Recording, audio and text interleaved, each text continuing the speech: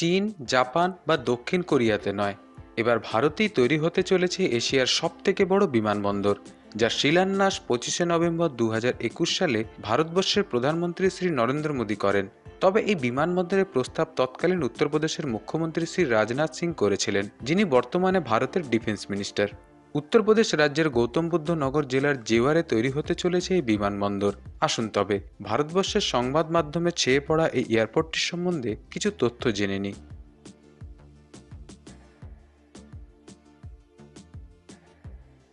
PPP অর্থাৎ public private partnership মডেলে তৈরি হতে থাকা জেওয়ার বিমানবন্দরের আধিকারিক নাম নয়ডা ইন্টারন্যাশনাল গ্রিনফিল্ড এয়ারপোর্ট। প্রস্তাব রাখার প্রথম পর্যায়ে ইন্দিরা গান্ধী ইন্টারন্যাশনাল এয়ারপোর্টের দেড়শো কিলোমিটারের মধ্যে অবস্থিত হওয়ায় প্রথমে এই প্রস্তাবিত বিমানবন্দরের কাজকে স্থগিত রাখা হয়েছিল।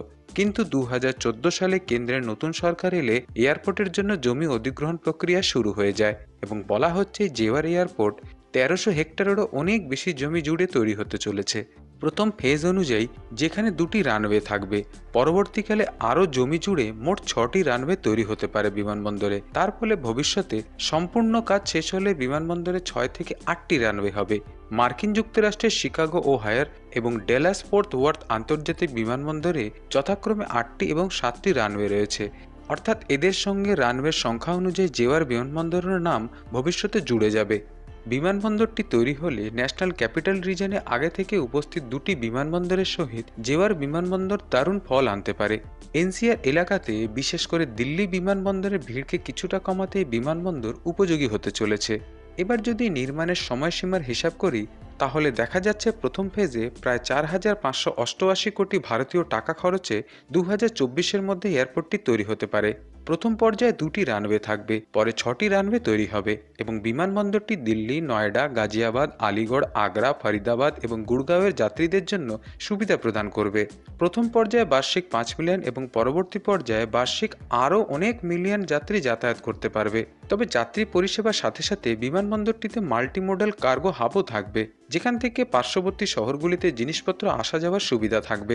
ভারতের প্রথম দূষণমুক্ত বিমানবন্দর নয়ডা ইন্টারন্যাশনাল গ্রিনফিল্ড এয়ারপোর্ট হতে চলেছে। এই বিমানবন্দরের কার্য Yamuna expressway industrial development authority implement করবে। ওয়াইইআইডিএ এখানে উত্তরপ্রদেশ সরকারের হয়ে কাজ করছে। সাথে এয়ারপোর্টটিকে দিল্লি মেট্রো ও নয়ডা মেট্রোর মারফত যুক্ত করা হবে। এবং ভবিষ্যতে Delhi, Varanasi, Kolkata high speed rail corridor এবং অন্যান্য ভারতীয় হাইস্পিড রেল প্রজেক্টের মারফত যুক্ত করার পরিকল্পনা রয়েছে। এই অঞ্চলে আন্তর্জাতিক বিমানবন্দরের নির্মাণ হলে পর্যটন শিল্প এবং শিল্পনগর গড়ে উঠতে পারে। এতে কর্মসংস্থান ও বিমানবন্দরের আশেপাশের অঞ্চল সহিত এক্সপ্রেসওয়েগুলিতেও পরিবহন সংখ্যা বাড়বে। বিগত কয়েক বছরে নতুন নতুন বিমানবন্দরের নির্মাণ হওয়ায় উত্তরপ্রদেশের যোগাযোগ ব্যবস্থা ভবিষ্যতে উন্নত হবার যথেষ্ট সম্ভাবনা রয়েছে। ধন্যবাদ।